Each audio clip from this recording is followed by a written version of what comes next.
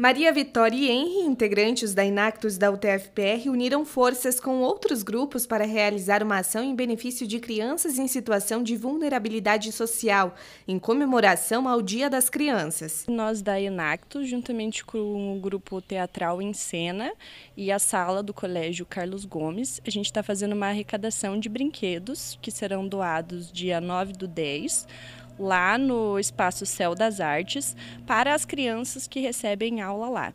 Então, o Espaço Céu das Artes, ele é um local que disponibiliza né, é, acesso à educação para algumas crianças que não podem ir ao colégio ou que não têm condição de pagar.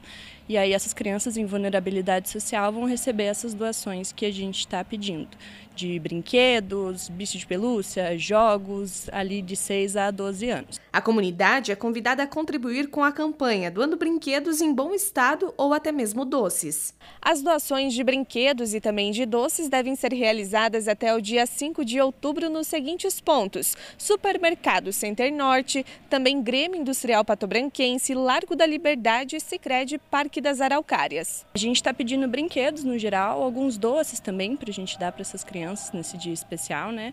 É, como ursinhos, bonecas, bolas, brinquedos que possam ser brincados mesmo. Henri José de Souza, membro do projeto Que visa inspirar jovens universitários a promover mudanças positivas no mundo por meio do empreendedorismo, acredita que a iniciativa de ajuda é uma responsabilidade que todos deveriam assumir. Todo mundo tem que ter uma certa parte, uma função dentro da sociedade para ajudar pessoas mais desfavorecidas. Então eu acho que não é nada muito é, fora da curva, eu acho que é só o básico que todo ser humano deveria fazer pelo outro.